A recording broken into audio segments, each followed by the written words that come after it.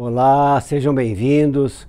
Hoje nós vamos conversar um pouco sobre ervas daninhas e os efeitos que elas podem trazer na nossa querida plantinha, né?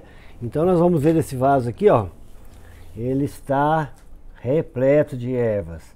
É muito importante que eu elimine essas pragas que se encontram na superfície do vaso. Então o que, é uma erva daninha? São essas praguinhas aqui, ó. Essas aqui não oferecem nada para o vaso, ó. Isso aqui tudo nós temos que arrancar, ó.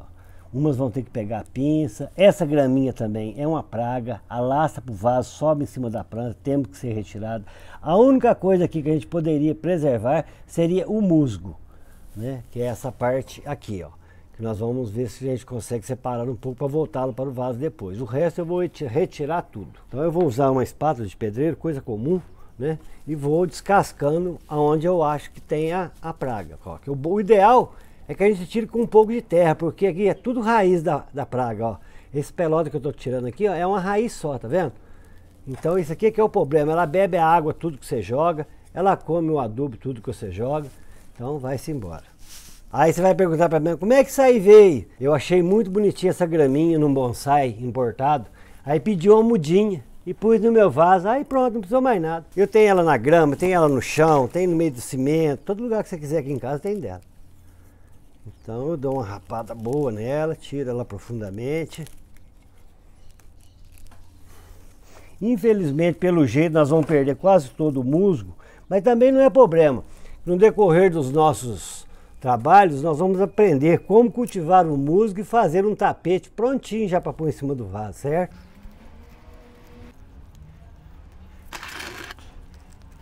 E essa aqui também, essa esteirinha aqui, ela é triste, viu? Toma conta do vaso em poucas semanas. Essa também é novidade, faz pouco tempo que ela apareceu. O que vai acontecendo é que na, na cidade tem muito pouco espaço para os passarinhos. Então, quando o passarinho vê um espaço igual esse aqui, ele fica doido. Então, aqui tem uma quantidade muito grande de ave. E a ave muitas vezes trazem muitas pragas que a gente não tinha no terreiro. Tem que estar sempre observando, vendo, está sempre aparecendo uma coisinha nova. É, como eu falei, nós vamos ter pouco musgo aqui para a gente aproveitar, que ele está todo muito contaminado. É, aqui tem a plaquinha dela que eu não gosto, nunca retiro ela. Ela sempre fica aí, é a idade da minha menina. Aí, agora então, uma vez o vaso limpo, eu vou dar agora uma pequena escovadinha nele, para tirar mais alguma coisa que tiver aqui por cima. E nós vamos ter um vaso limpo.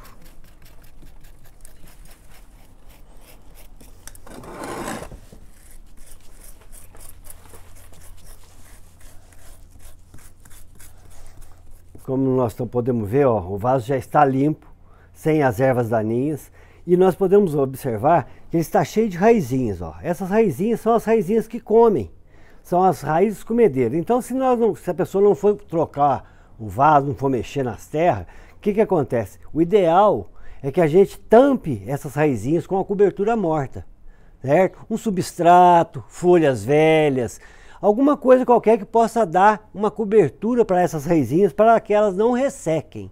Porque uma vez que elas ressequem, o que, que acontece? Ela vai passar a comer só com as mais embaixo. Então a gente tem que preservar a vida delas. O musgo é um ajudante para elas conservarem úmidas. Mas como estava tudo lotado de praga, eu fui obrigado a perder o musgo. Né? Então até que o musgo chegue, o que, que eu vou fazer? Vou fazer uma cobertura com folhas mortas, qualquer coisa morta que possa dar um pouco de refresco para elas. Então eu agradeço muito a atenção né? e até uma próxima oportunidade.